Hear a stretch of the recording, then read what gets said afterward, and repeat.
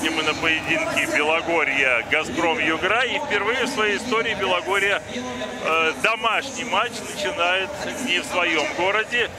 Ну что поделать, для кого-то это уже привычная ситуация, кому-то еще все-таки предстоит к этому привыкать. Так или иначе, этот сезон Белогорья проведет в Туле.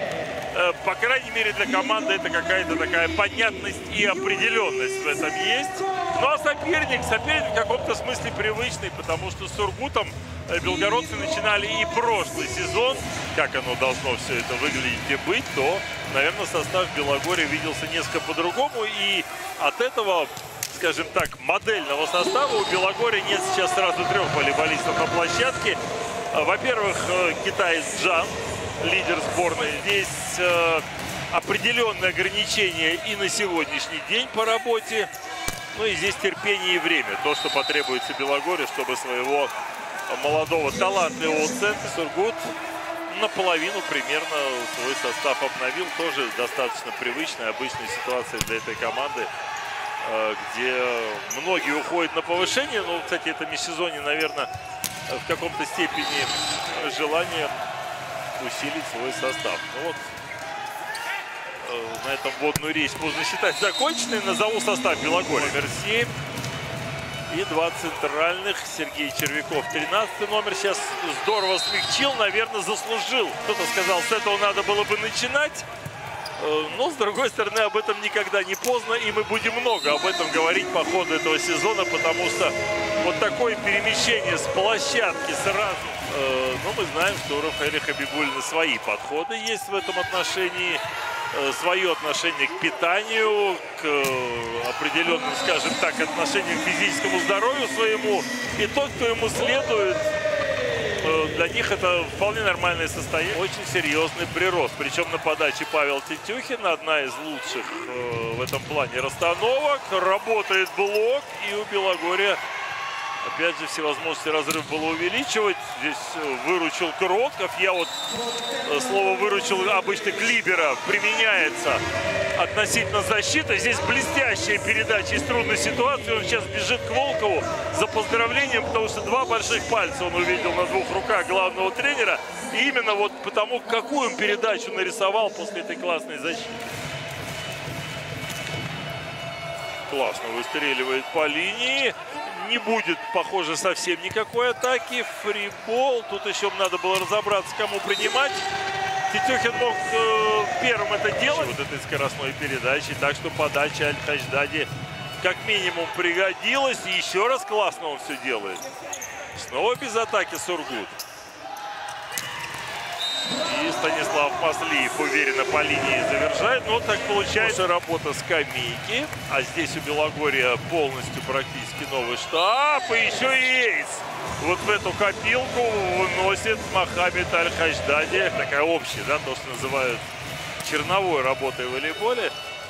У этого доигровщика это основное, может быть, и качество. Классно работает пока центр блока в Белгороде. Стороны Вспоминаем тут прекрасные традиции. И Кобзарь прошел школу Сургута, и Павел Панков.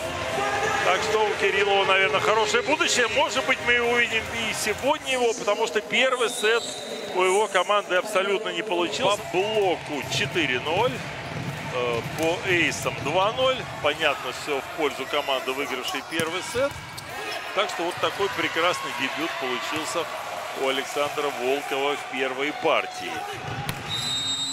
Второй раз вряд ли так будет просто, но вот если будут так ошибаться сургутяне, сейчас Раджав заступает при атаке задней линии, то, конечно, трудно будет им свою волю навязать, это уж как минимум. И э, после Лондонской Олимпиады долго залечивал травму, может быть, считал это для себя и полезным в этом амплуа поиграть. Но вот был такой эпизод, и Хабибулин как раз тот тренер, который, скажем так, ему шанс дал проявить себя в этом смысле. Но Волков все равно, конечно, это гениальный центральный блокирующий, то уж как ни крути.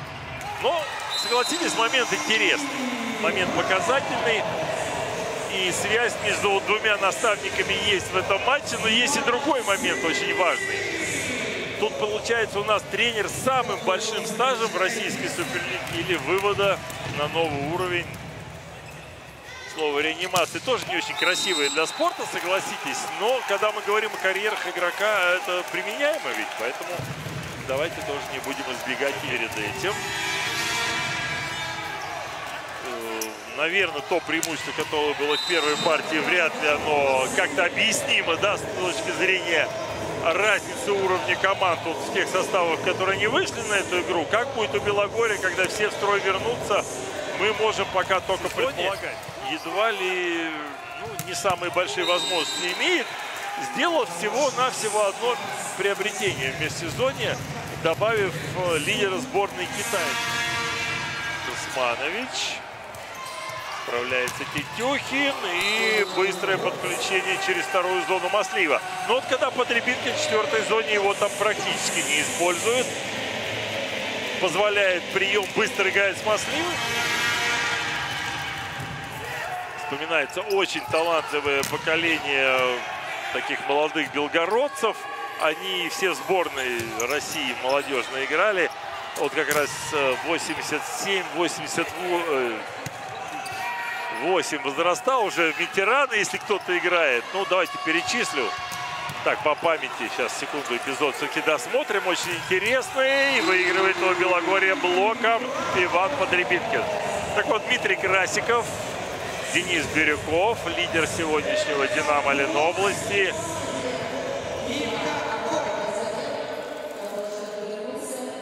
Денис Фоменко. Денис ли? Вот сейчас начинаю сомневаться, но Фоменко, да, мы помним, что э, челленджей у Сургута больше нет.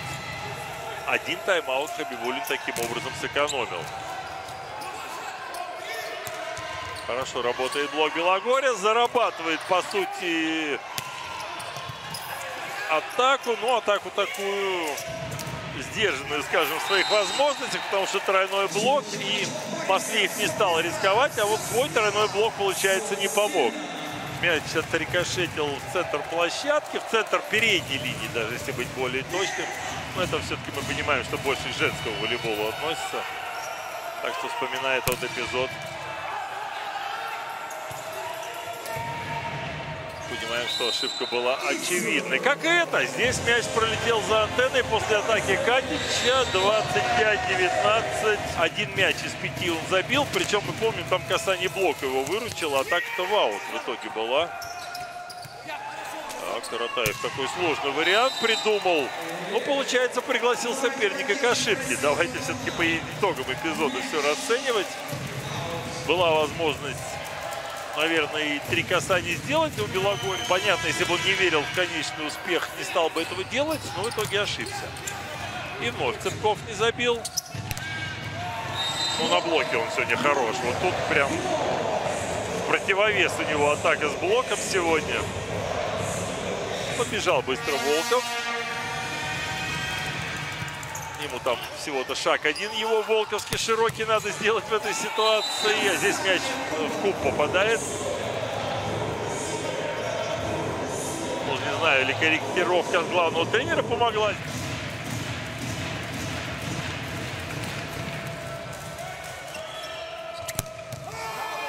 Хороший первый темп, такая широкая зона Тарасенко так с предыдущего сета побольше заставил на себя э, Александра Волкова выигранный. И это тоже не в пользу арбитров, будем откровенны, но в пользу нач...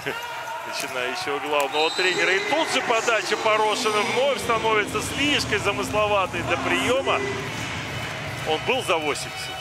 Ну, тут не мудрено. Было бы удивительно, если бы он сохранялся. Может не ограничиться тремя партиями.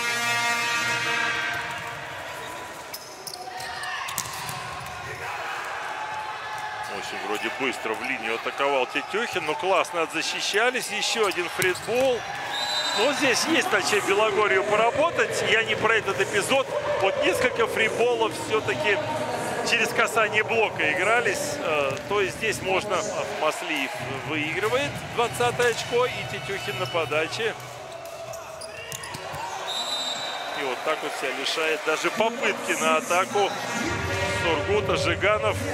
Но радость такая локальная. У нас матчбол 24-18. У Белогорья 16 очков у Маслива, 13 у Тетюхина, 12 у Подребинкина. Вот к данному моменту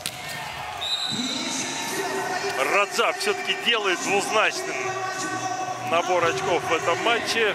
Ну, наверное, на этом все хорошее, если это вообще хоть как-то должно вообще запоминаться для проигравшей команды в этом матче и закончится.